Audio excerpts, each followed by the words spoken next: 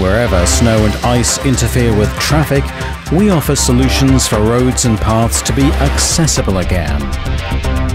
With the right equipment from Fiedler, you can relax, even during the white season. Our front-end machines release snow quickly from small paths. With two different sized operating variables, as well as selectable hydraulic or mechanical drives, the devices are suitable for various municipal vehicles. A snow screen controls the direction of the material removed.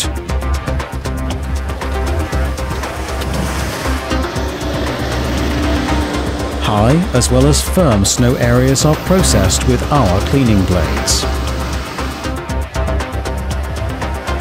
We produce these in varying sizes for lateral or variable spacers. In widths from 1.1 meters up to 2.6 meters.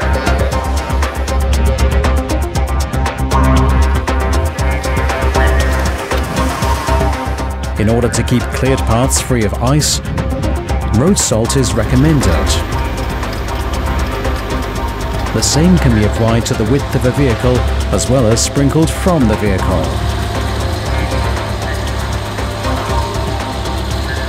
Angle and width of ejection can be adjusted with the patented Fiedler Multimatic Control Unit.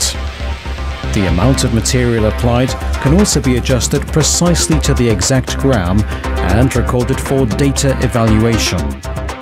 Likewise, monitoring by GPS is possible to document cleared roads. For every vehicle size, Fiedler offers the suitable salt bin container. With different cams on the application shaft, dry and moist salt as well as grit or sand can be applied. A modern de-icing process is the treatment of subsoil by brine. Here too, of course, the ejection width and quantity can be regulated.